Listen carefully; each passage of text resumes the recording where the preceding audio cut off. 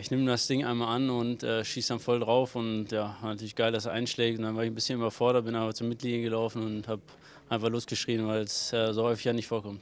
Ja, ich glaube, wir haben es gut gemacht, sehr geduldig gespielt und ähm, ja, wenig Chancen zugelassen. Und ähm, ja, klar, durch das 1-0 haben wir da ein bisschen mehr Räume bekommen und ähm, ja, haben dann noch überragenden Angriff mit äh, ja, Emils Pass und Sabis Abschluss und dann haben wir das Ding eigentlich ähm, sehr gut im Ballbesitz runtergespielt zu null ist sehr wichtig. 2-0 äh, auswärts, neun Punkte. Ja, ist eine tolle Ausgangssituation. Haben, glaube ich, wenn ich richtig gerechnet habe, auf jeden Fall fünf Punkte auf den dritten, egal wie es ausgeht. Und ähm, da können wir uns glücklich schätzen und haben wir noch einen Schritt zu gehen, dann sind wir durch.